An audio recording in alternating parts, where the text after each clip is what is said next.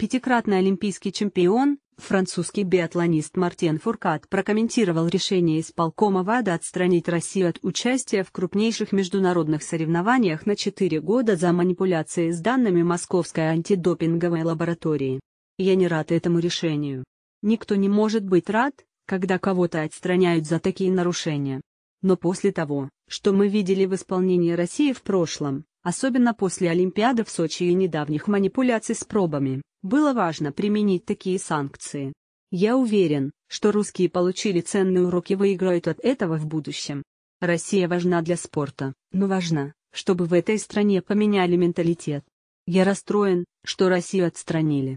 Это грустное время для российского спорта. Отдельные российские спортсмены продолжат выступать в нейтральном статусе, если смогут доказать, что они чисты. И это здорово.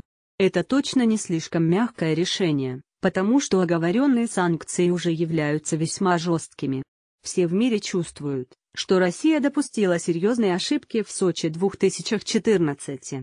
Потому у России было много возможностей, чтобы двигаться дальше и забыть о тех ошибках и снова завоевать уважение в мире. Но сейчас Россия снова наступила на те же грабли. Важно, чтобы это все прекратилось и кардинально поменялась ментальность у русских, как я уже говорил.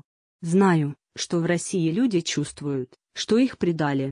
Они всегда гордятся своей страной, поэтому сильно расстроены, передает слова Фуркада корреспондент чемпионата Александр Говоров.